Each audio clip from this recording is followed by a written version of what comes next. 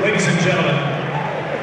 he's a 10-time NBA All-Star, member of the gold-winning